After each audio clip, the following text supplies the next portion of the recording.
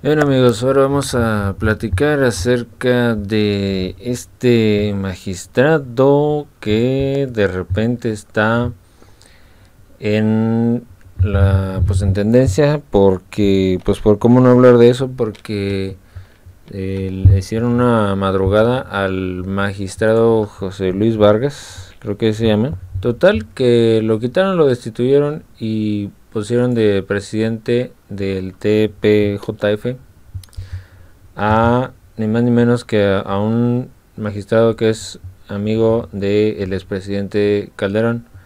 Y pues ya se imaginarán eh, cómo es esa. De hecho eh, hizo un tuit bastante polémico y bastante pues horrible la verdad no está muy mal que eh, opiniones vengan de cualquier de ese tipo de opiniones vengan de es muy desagradable ese tipo de opiniones cuando vienen de cualquier persona pero en especial de alguien que se supone que tendría que ser que tendría que tener una una calidad moral de cierto nivel verdad de, y entonces este ves ese tipo de cosas. Él ya borró el tweet pero lo capturaron hicieron captura de pantalla y quedó ahí y pues bueno este magistrado que según él y según los eh, los otros magistrados que lo colocaron o lo, lo, ya lo nombraron presidente del TPJF pues ya hasta agradeció hizo su discurso y pues bueno aquí tenemos los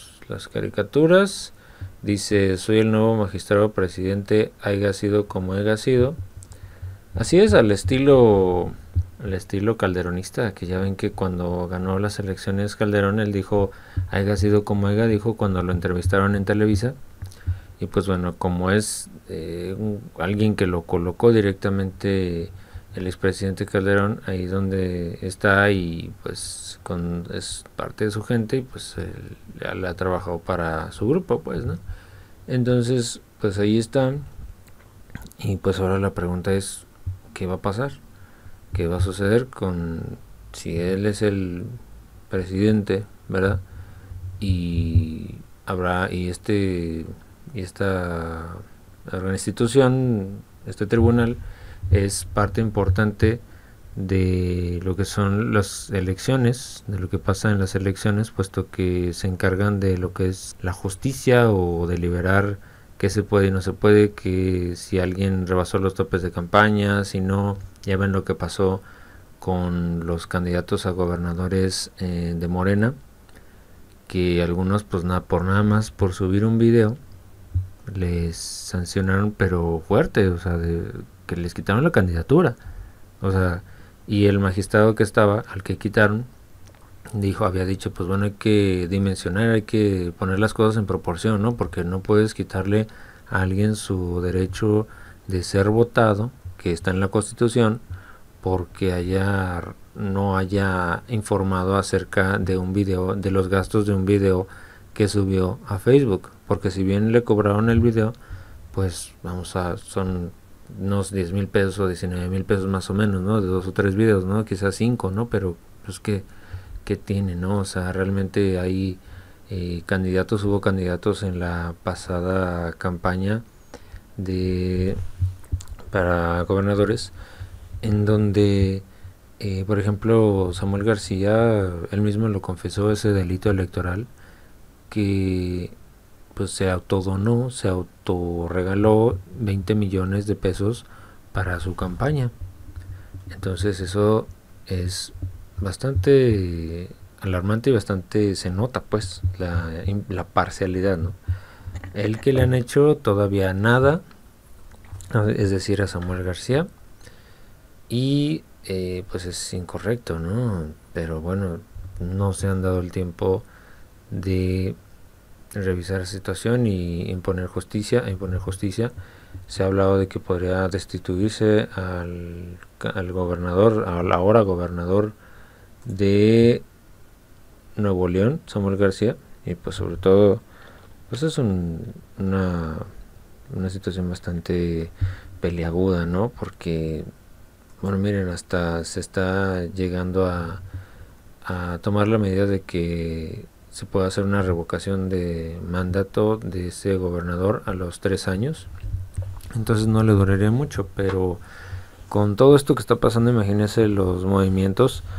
Eh, y hablando de revocación, es decir, que los movimientos serían ciertos movimientos que no le convienen a, la derecha de la política mexicana serían frenados ahí en el TPJF si tienen a su gente ahí. De hecho tienen su gente ahí en el TPJF y tienen a su gente en el INE siendo que el partido Morena comentó bueno hoy, lo que hizo pues fue bueno vamos a dejar a la derecha que ponga su gente no eh, ellos tienen a poner a su gente y también a los derecha los de derecha pondrían su gente es decir el PRIAN pero pues tratando de hacer una, una manera de consenso, ¿no? Pero no resulta conveniente, ni siquiera eso, porque pues ya ven, donde pueden meten las manos y hasta los pies, ¿no?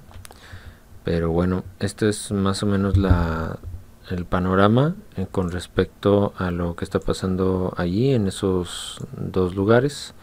Y pues el presidente se reúne hoy mismo con el presidente de la Corte, Arturo Saldívar. Dijo el presidente en la conferencia al finalizar que iban a desayunar, se reúnen de, cierto, cada cierto tiempo y a lo mejor hablan de esto de la traición en el TPJF. A ver qué pasa, ¿no? Porque en realidad había mencionado el presidente eh, no hace mucho tiempo que iba a a estar, el, INE ya va a ser, no iba a tener tanta, pues imagínense, le dieron mucho poder en la derecha al INE y este cuando estaban de presidentes Peña Nieto, Calderón, etcétera.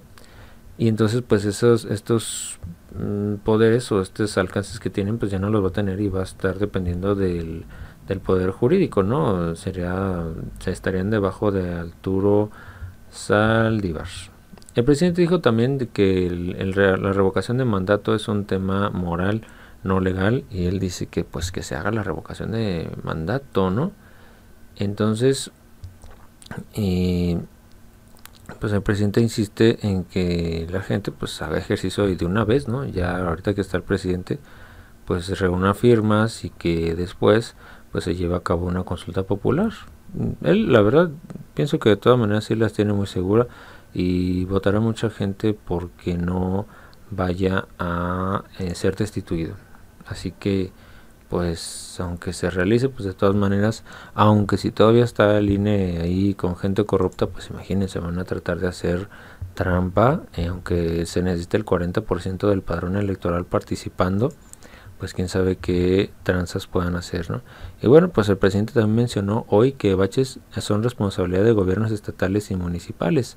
Eh, evidentemente, imagínense, pues ellos tienen los, los, los, las, los, pues los dineros, pues los tienen ahí los dineros y los presupuestos para esos menesteres de los baches y eso que la verdad son muy molestos, la verdad eh, están muy mal, pues que haya tanto bache. Bueno, hasta la próxima amigos, gracias por ver este video, gracias por compartirlo, darle like, hasta la próxima.